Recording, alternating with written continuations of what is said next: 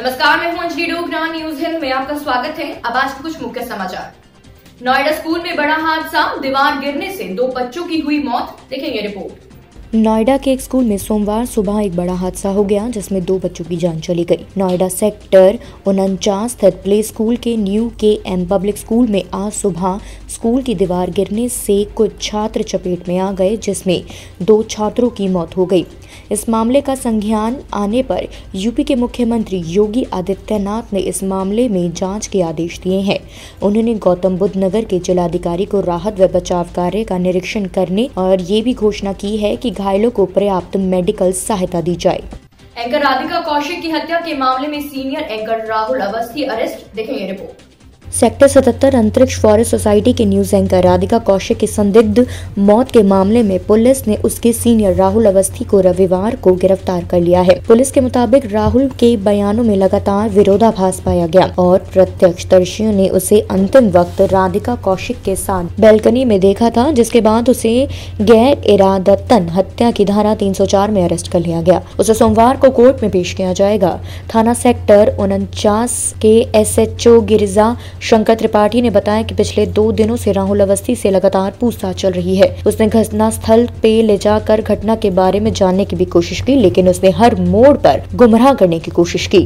Nirbhaya case की छठी बरसी के दिन दिल्ली में दरिंदगी, तीन साल की बच्ची ऐसी दुष्कर्म, देखेंगे रिपोर्ट। दिल्ली पुलिस की लाख कोशिशों के बाद भी देश की राजधानी में महिलाओं के प्रति अपराध कम होने का नाम नहीं ले रहे। हालात इस कदर खराब है, इसका अंदाज़ा इस बात से लगाया जा सकता है कि 16 दिसंबर 2012 को हुए निर्भया सामूहिक दुष्कर्म की छठी बरसी पर रविवार को तीन साल की मासूम पड़ोसी की हवस का शिकार बन गई। जानकारी के मुताबिक दिल्ली के बींदापुर थाना क्षेत्र में तीन साल की बच्ची के साथ पड़ोसी ने दुष्कर्म किया। बच्ची के रोने की आवाज़ सुनकर पहुँचे लोगों ने आरोपित को पीटा और पुलिस को सौंप दिया। पुलिस अधिकारियों के अनुसार बच्ची की माँ घरेलू सहायिका है, जबकि पिता राज मिस्त्री का काम करते हैं। रविवार की दोपहर दोनों काम पर गए थे, जबकि बच्ची घर पर अकेली थी। पड़ोस में ही रहने वाला गार्ड रंजीत नशे की हालत में बच्ची को बहला फुसला कर क्षेत्र के एक निगम विद्यालय के पास कमरे में ले गया और वारदात को अंजाम दिया। बच्चे की रोने की आवाज़ सुनकर पहुँचे लोगों ने आरोपित को दबोच लिया। इसके बाद उसकी जमकर पिटाई की गई और पुलिस को सौंप दिया गया। पीड़ित बच्ची को डी अस्पताल में भर्ती कराया गया, जहाँ उसकी हालत गंभीर बनी हुई है। करोड़ों लोगों की सांसों में घुल रहा है वीओसी देखेंगे रिपोर्ट।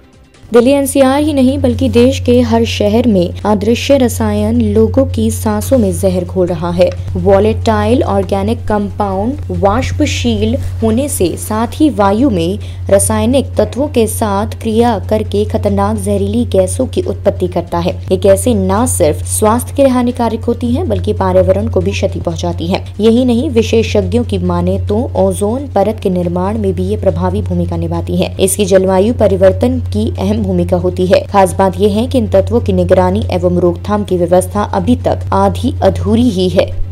गूगल पर फिर उठे सवाल ट्रंप के बाद इमरान खान भी हुए सर्च इंजन का शिकार। देखेंगे रिपोर्ट। दुनिया की जानी मानी सर्च इंजन कंपनी गूगल इन दिनों सवालों के घेरे में है। कुछ दिनों पहले ही अमेरिकी संसद ने गूगल के मुख्य कार्यकारी अधिकारी सुंदर पिचाई से इडियट सर्च करने पर अमेरिकी राष्ट्रपति डोनाल्ड ट्रंप की फ़ोटो आने पर सवाल किए थे। अब एक नया मामला सामने आया है, जिसमें भिखारी लिखने पर पाकिस्तानी प्रधानमंत्री की फ़ोटो आ रही है। इस बात को लेकर पाकिस्तान के पंजाब प्रांत के विधानसभा में एक प्रस्ताव पेश किया गया, जिसमें गूगल के सीईओ सुंदर पिचाई को समन भेजने और पूछताछ करने की बात की गई है।